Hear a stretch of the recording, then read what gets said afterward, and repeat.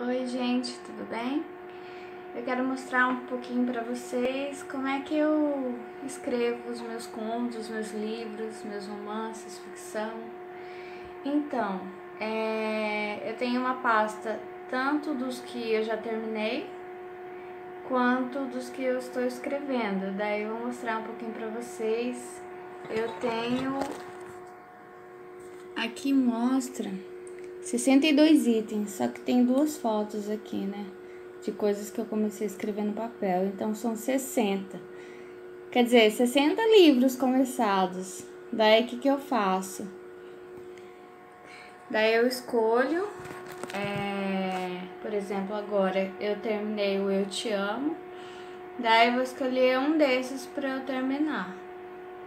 Às vezes vem uma história nova, daí se eu não consigo colocar dentro de uma história já começada, daí eu começo outra.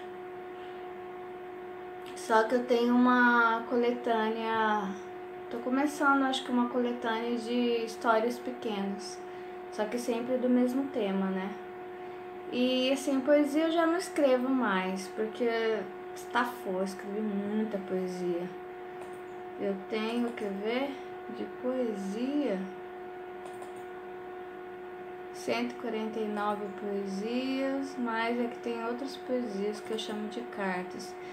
149 mais 147 dá 296. 296 poesias é, registradas, fora uma outra pasta de poesias que tem 61, quer dizer, já tem mais de 350 poesias.